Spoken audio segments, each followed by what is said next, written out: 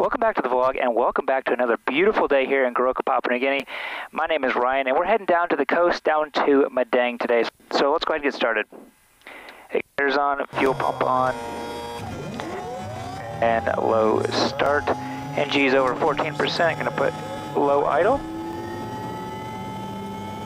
As my ITT rises up, I'm watching the rate of the needle coming up and also watching my NG to make sure that it's going past 35% and climbing.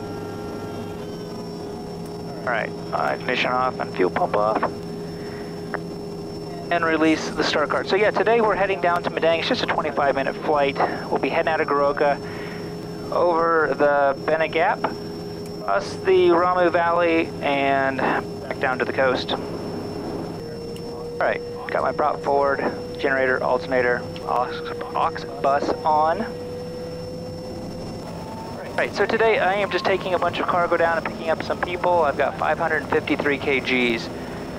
So I'm going to put that in here into our app. I've got all the chairs on board. 553 kgs, I've got 650 pounds. Fuel, and a lot of people have asked, you know, like why do we do fuel, why do we do kgs? In pounds and kgs, it's because the G1000 only takes pounds, not kgs or liters. That's why we have to use this app and it does all the conversion for us so that we don't mess up. So it says I can add on another 340 kgs or 747 pounds of fuel. For my cargo here, I'm going to put down 1,220 pounds and verify that that matches within 10. So it says 6506, it says 6530. So looks like my pilot's weight is a bit different than what it is in here. That's the difference. Our flight plan in. Let's go ahead and do our checklist up here. This is just a flip checklist. It's not connected to the plane, it's just Velcro up here. But it's a really nice uh, reminder visually on remembering what you need to do. Like fuel caps, selectors, good, controls. Systems, we're going down at 9,000 feet today. Our full up weight right now is 6530. So take off 60 and come back in at 71 if we had to. Right, switches and instruments are good. We're just setting up my trim here before I have to taxi. Flaps are set, indicated 20 and verified 20. Goroka Tower, November Tango Kilo. Request taxi, Madang 1 POB. November Tango Kilo, Goroka Tower, good day. Uh, taxi runway 17 left and backtrack and lineup. QNH 1018. 1018, cleared back track and lineup 17 left, November Tango Kilo. Alright, taxi light on.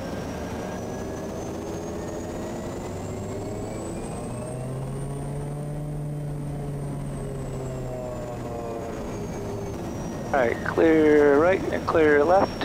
Throw our strobe on our landing. And Then back to pulse on our landing light.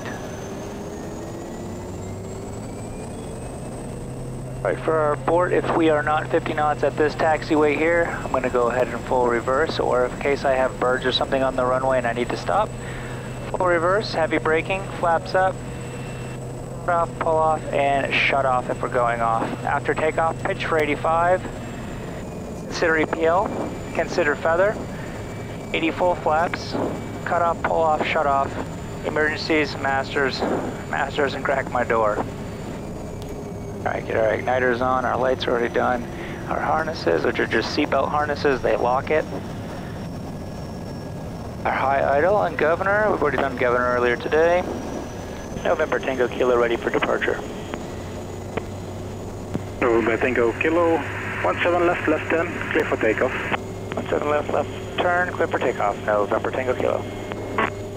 Alright. Checklist complete, ignition condition flaps 20. Fuel and harnesses. 27 degrees out. 5,000, 1380, 1330. Good day again, taxi runway 17 left. Correction, runway 17 right and line up, cross 17 left. QNH 1018 and temperature 23.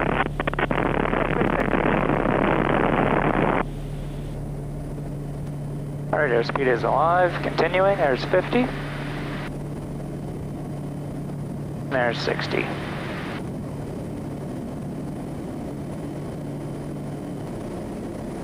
Pitching for about 70 or seven and a half degrees on my horizon here. That's going to give me around 85 knots. And we're climbing out at 740 on the ITT. So we're at a safe altitude over 85 knots and increasing on our airspeed we'll reduce our flaps to 10 degrees. And we'll start our left-hand turn shortly up to the Bena Gap. There's over 90 and increasing. We'll go zero degrees of flaps and bring our prop back down to 2000 RPM. A little bit of back trim. And as I bring the prop back, our ITT is also just going to be dropping from 740 down to 720. Climb out right around 100 knots. It's going to be really close to our VY, which is our best rate of climb, allowing us to get to the highest altitude in the shortest amount of time. Let's go ahead and do my departure call here. Crocodile November Tango Kilo, departed time 22, tracking 019er, initially for the Bena on climb 900,000, estimating Madang 47. November Tango Kilo 9000, contact Madang 120.1 or HF 6598 in the Bena Gap. 120.1 or 6598 in the Bena Gap, November Tango Kilo. All right, we'll do our engine inlet back to normal, our igniters are turned off. And I'll turn our landing light off, but we'll have our pulse light still going. So I'm heading up to the Bena Gap right now, and the reason why we head up to gaps is because as we get up here, you can see there's clouds touching all the mountain tops. Once I get around this corner, we'll see if I'm if I am correct in saying this, but usually, not always, but usually the gaps have a break in the clouds so that you can actually get through and you don't have to climb up to what looks to be probably 12,000 feet for me to be able to get over these clouds today. So I've scheduled my, my flight just to go down at 900,000. If I can't get through there at 900,000 today, it's pretty windy out. Actually, it's not windy, it's just bumpy. And I'll have to climb on up to either my safe altitude, an IFR altitude, or I can climb up to just whatever gets me over these clouds, which I'm guessing is probably around 12,000. All right, I've got a thousand foot to go. It's flashing up here, that just lets me know I have a thousand foot to go before my desired altitude. All right, and it looks like the clouds are gonna lie today because although I can see this side of the ridge, it does not look like I can safely get through, so I'm just gonna go ahead and continue on climbing up. Actually, no, it looks like I get there. There's a hole. Perfect. That should actually get through at 900,000. So, there we go. See what I said? the gaps always somehow have some holes.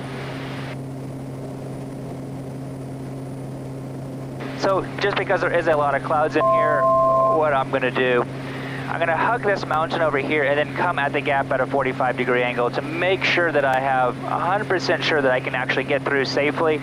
That way I can turn back out here to lower terrain, super easy. Allows me just to kind of like slowly creep up. And if it was really bad weather, I'd also put 20 degrees of flaps and slow down to 80 to 85 knots. Yeah, there's a really nice hole right here. And I'm never going to commit myself to go through anything like this unless I know 100% sure that I can get through safely and it's VFR the other side unless I'm at my minimum safe. Copy, 17,000. So I'm choosing to continue on this. When I say continue, that means I'm going to go ahead and continue. I no longer can actually go out this way. 9,400. Once I get right past these, then I'll just drop on back down to 900,000. In this Bena Gap right here, we're going to be switching over to our Madang controller, which is our flight service. 120 decimal one. Madang 120 decimal one, November Tango Kilo transfer. November Tango Kilo good day, go ahead. Madang, November Tango Kilo through the Bena Gap, 900,000, estimating Madang time, a 49er.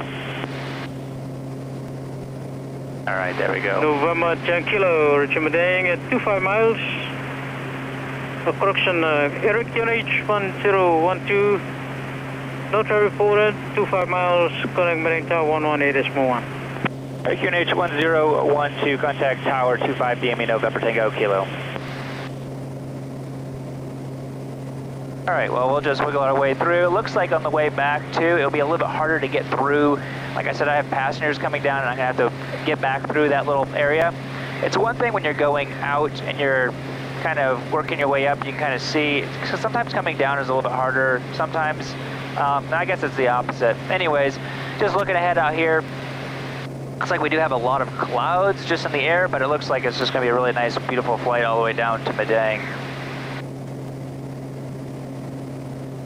So now that we're out of all these clouds, I'm going to go ahead and set up my cruise torque at 1250 foot-pound of torque. My autopilot set up and start our descent back down to 9,000. Madang Tower, November Tango, Kilo, 10 miles, passing 3,000. Air circuit 45. November Tango Kilo, train second right base, runway 07. Track for right base 07, November Tango, Kilo. Alright, looks like we've got another aircraft here, 1,200 feet below me, so They're either just departing, I don't remember hearing them. I heard someone backtracking, but I don't remember hearing another oh yeah, helicopter if he's that low. And Tower November Tango Kilo has Alpha Tango Bravo in sight and we'll be entering into a wide right base following. Alpha Tango Kilo. Alright, autopilot off. I'm going to go ahead and put my prop forward because more than likely he will be backtracking and going nearly flight idle. Alright, I'm at 80 foot-pound of torque right now, just slowing down, 10 degrees of flaps, engine inlet into bypass, 20 degrees of flaps below 120. We're going to just slow down to about 80 knots and just putts in really slow. Right, if we do need to go around for any reason, power up 20 degrees, pitch for 73, left hand turn out, correction, straight ahead, and then right hand turn back out for a right hand pattern. Alright, I'm just going to hold it around 80 knots so that I can just go as slow as I can, prop and harness. We'll do harness now. We have landing clearance to go and full flaps to go. All right. Tango Bravo, clear the backtrack. Yes, backtrack, Alpha Tango Bravo. All right, I've got another half a mile before I turn final. I'm at 900 feet, but I also am on like a three and a half mile final, so that's fine. He's gonna be backtracking by the time I turn final, get my full flaps in, and slow down to 70 knots. That will work out just fine. All right, final full flaps. Tower November Tango Kilo, three and a half mile final 07. November Tango Kilo, expect late late landing clearance, traffic still vacating. Understood, November Tango Kilo. All right, 70 knots. And checklist is just about Tango complete. Bravo, take fast left. Alpha oh, Tango Bravo. All right, looks like he's just now turning off now. I've still got two and a half miles to go, so plenty of room. November Tango Kilo, runway 07, clear to land. Land 07, November Tango Kilo. All right, checklist is complete. Looking for 70 knots at the slowest. I've got 7 knots on the nose of wind. 500. Now 6 knots. Looks like it's a little bit actually coming out of maybe 040 today. When we get down low to the ground. Tower for November, Romeo. All right, sounds like Alpha Romeo Tower, go ahead. Alpha Romeo, our departure must be, will be climbing to cruise eminent manual 250. All right, we'll shoot for the thousand foot marker. Because we've got lots of space. And watching for birds because there's always hawks. It's just like hanging out all over the runway. I'm aiming for about a plane and a half before the thousand foot marker if I'm at the speed I want to be at. And now I'm getting sinkers.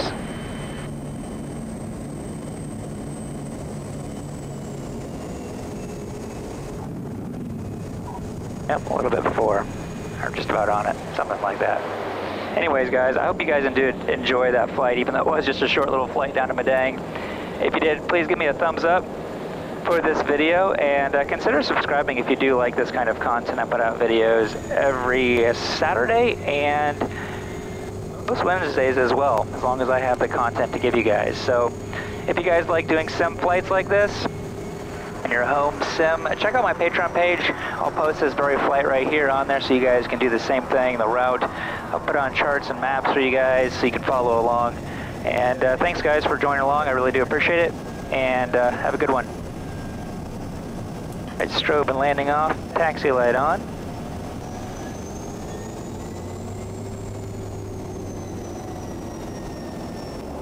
Right, blowers are turning off, taxi light off, fuel pump, aux bus, generator, alternator. Right all the way back, cut off, and a feather. Thanks guys.